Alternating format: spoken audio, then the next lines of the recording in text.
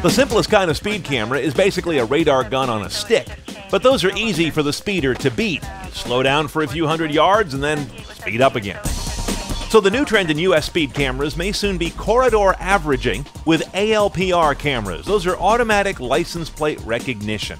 Now, if you're one of our UK viewers, none of this is new to you, having debuted back in Scotland in 2004.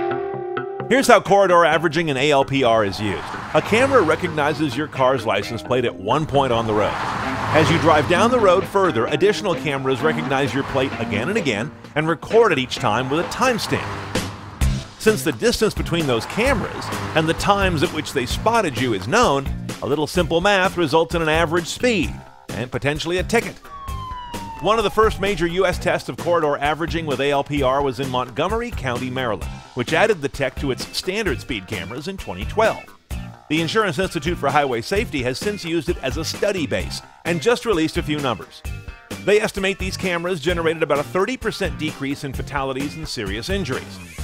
That would mean 21,000 fewer deaths and serious injuries if this was used nationwide, and that in Montgomery County, fatalities and serious injuries fell 27%, even on nearby roads where these cameras weren't specifically being used. A spillover effect. Because I know you're wondering, Montgomery County posts the location of all of its speed cameras on a county webpage. They're moved regularly, and you can be sure that drivers share those locations on crowdsourced nav apps like Waze. And there is, of course, a vigorous debate as to whether some municipalities sneakily deploy traffic cams to generate more revenue than speed reductions. And in some states, notably California, this corridor averaging license plate camera technology is expressly prohibited as a speed trap, for now at least.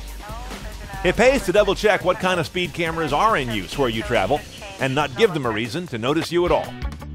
More car tech demystified right now at cnetoncars.com click on CarTech 101.